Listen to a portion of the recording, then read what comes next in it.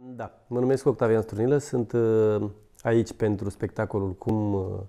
uh, nu cum se face, ăla e altul, Coaste din viața lui Adam, scris și regizat de mine, cu Leonid Doni, în distribuție cu Paul Ipate, cu mine, cu Anca Dumitra, care este pe filmare, și cu Anca Dinicu, care joacă în acest moment în spectacol, și cu Ana Strunilă, care a făcut uh, coregrafia și uh, dansează și uh, joacă. Da, în spectacolul ăsta, Coaste din viața lui Adam, a plecat de la o poveste pe care am trăit-o și pe care am, la care am asistat, un, unul dintre colegii noștri, un actor. E, într-un fel, inspirată din viața unui coleg de-al nostru, dar ea merge mai departe și răspunde la acea întrebare ce se va întâmpla cu noi după ce Uh, dispărem de pe lumea asta, unde ne ducem? Și am încercat să răspund așa cum am putut eu, cu umor, uh, vorbind cumva despre ce se întâmplă acolo când ajungi în cer, uh, nevoia de birocrație a omului chiar și acolo, că trebuie să te prezinți și acolo cu dosar, cu șină și cu absolut tot ce e nevoie aici pe pământ, ai nevoie și acolo. E viața de după uh, într-o cheie comică, ca să spun așa. Și a fost uh, cumva o primă colaborare cu nevastă mea, cu Oana Strunilă, uh, atât pe coregrafie cât și pe actorie, pentru că are și o mică parte de interpretat acolo, are și un, un rol, rolul judecătorului.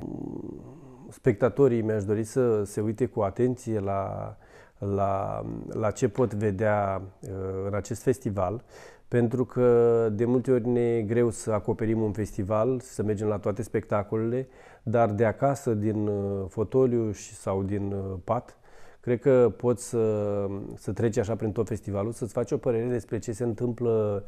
cu artiștii din România și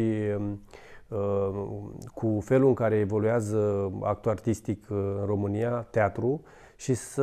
avem grijă, pentru că din cauza asta, din lipsa asta de uh, preocupare vis-a-vis -vis de față de teatru, uh, se aud la un moment dat voci care spun nu mai avem artiștii de altă dată, nu mai sunt actorii de altă dată,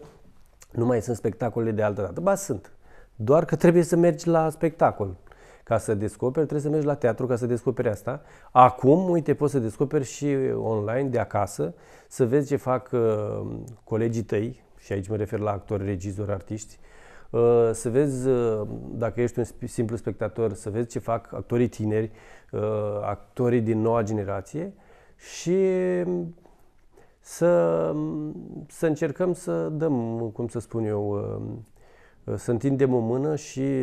celor mai tineri care vin acum și vin cu idei noi, total trăsnite. Eu am avut surpriza să descoper